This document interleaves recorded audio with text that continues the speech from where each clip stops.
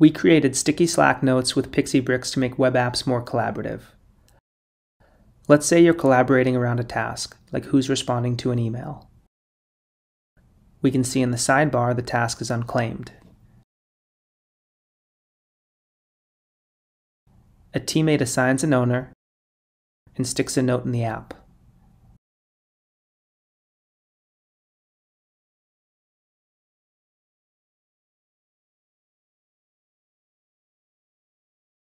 Which triggers a Slack notification. When the assigned owner responds, it's also pushed to Slack. As you can see, the full collaboration is embedded in the app for full context.